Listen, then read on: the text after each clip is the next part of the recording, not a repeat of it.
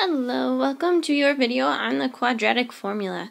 You'll be able to solve quadratic equations by using the quadratic formula. So let's get started. First thing you need to know is what is the quadratic formula, um, and it is shown right here for you. It is the opposite of b plus or minus the square root of b squared minus 4 times a times c, all divided by 2a. So how does the quadratic formula work? How did it come to be? Um, for those of you who are really curious, um, here's the steps for you, and I'm just gonna, you can pause it here if you'd like.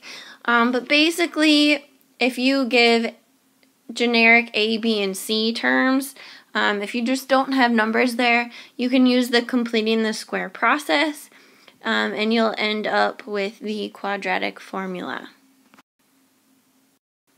Next question is, how do I use the quadratic formula? Obviously, you need to not only know what it is, but how to use it. Um, so you're going to use the formula you were given, so opposite of b plus or minus square root of b squared minus 2ac all over 2a. So you're going to use that um, and drag in your information. Um, so here's the first example problem.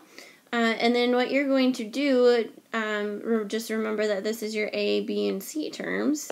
And you're just going to drop them in. So opposite of B would be negative 3 plus or minus the square root of B, so 3, minus 2 times A, which is 2, times C, which is negative 5, all divided by 2 times A, which is 2. Um, and then you just work your way through this following order of operations um, and simplifying it. So we now have negative 3 plus or minus the square root of 3 minus, and then you have the 2 times 2, which is 4, and then 4 times negative 5. So it's going to end up being positive 20 here. Um, and then that's going to be 23. And then all divided by 4. Um, and then now you're going to break this apart into two different options. So my first option is going to be negative 3 plus the square root of 23, all divided by 4. And my second option is going to be negative 3 minus the square root of 23, divided by 4. Now you're going to need a calculator for this.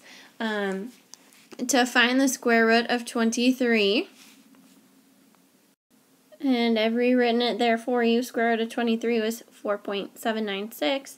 You want to round to probably the thousandths place just so you're more specific. Um, then you're going to take care of the numerator. So 3 minus that number and then divide it all by 4. You will end up with an answer of 0.449. You're going to follow the same process for when we have a second answer of the negative. So negative 3 minus the 4.796 all divided by 4. And that will give you an answer of negative 1.949. So those are your two answer solutions. Right, this next problem looks a tad bit different um, just because it's not written in the same form, but that's okay. You'll just move it so that it does. Um, this will be x squared minus 2x minus 8 equals 0. And then plug in everything. So the opposite of b would be 2 because it's negative 2 plus or minus the square root of negative 2 minus 2 times 1 times negative 8 all over 2a and that would be 2 times 1. Simplify this down a little bit um, and you will have 2 plus or minus the square root and now we have 2 times 1 which is 2 and then 2 times negative 8 is negative 16, but then we have minus, so it makes it positive. So we have negative 2 plus 16 and that will give us an answer. So that equals 2 plus the square root um, of 14 all over 2 times 1, which is 2. So here's our new um, equation. is simplified as it gets.